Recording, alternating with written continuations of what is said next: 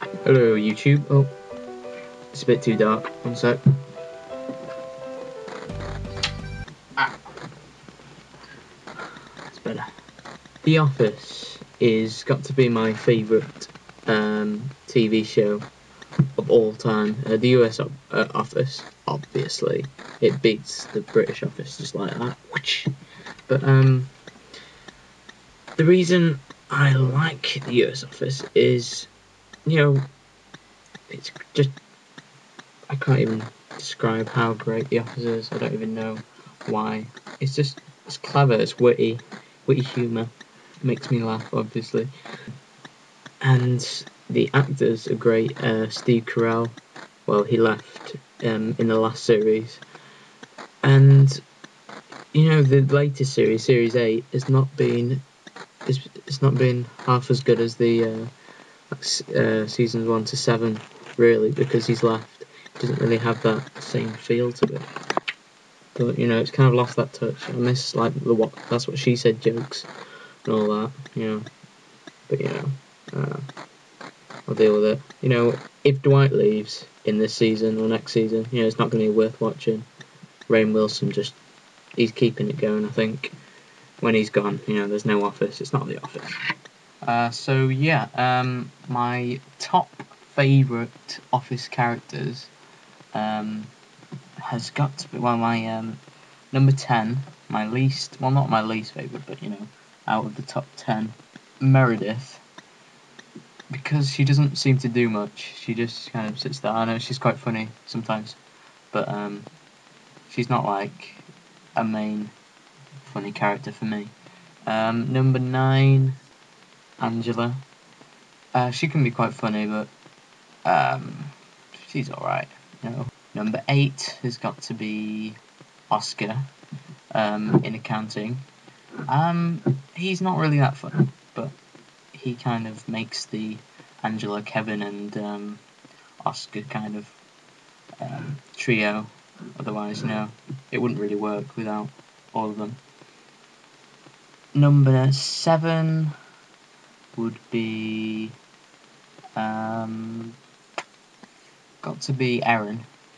Um, she's a bit of a dope, um, but yeah, she's a strange girl. Um, number six, Gabe, has got to be number six for me.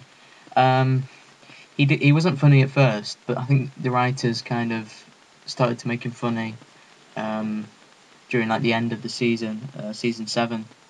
But he was quite annoying. Number five would be Phyllis. She um, Phyllis, she doesn't really do much. She kind of just sits there. Um, but she's kind of like that old. Uh, she reminds me of an old dinner lady. I don't know why. But four would be Stanley. He was quite funny uh, in season. Is is funniest in season eight uh, this season. Um, when he came up with his stuff like um, "shove it up your butt." You take the first letter from each name, assign it a number, add them all up, and shove it up your butt. Thank you. That was quite good. Um, yeah, that was good. Number three has got to be Kevin. He's just like a just a funny fat guy. There are some people who have charm and some people who don't. Guess which type I am? Charm type. His voice is what does it for me. Brian Baumgartner, he's a legend, and he, um, no idea how he managed to keep up that weird uh, Cookie Monster voice throughout like the whole of The Office. Well, actually, no, the, the like the first and second season of The Office, he didn't really have that voice, but then it kind of developed as it went on. So you know, Kevin, yeah. Kevin Malone. Um, number three, uh, Creed. Um, he is just a legend overall. He just sits there in the corner. He's no idea what his job is, and he's just a legend. Whoa. awesome. Let's put a smile on that face. Number two, Dwight, definitely. He is just um, a strange beet farmer who comes from an Amish family. He's gone. He's. I miss him so much. Oh, I cry myself to sleep, Jim. False. I do not miss him. Number one, Michael. Michael Scott, played by Steve Carell. He's just amazing. Like, uh, that's what she said jokes are the best, and he's just. he has no idea what he's talking about most of the time. It's just epic. And I missed out uh, Jim and Pam because I don't really find them that funny.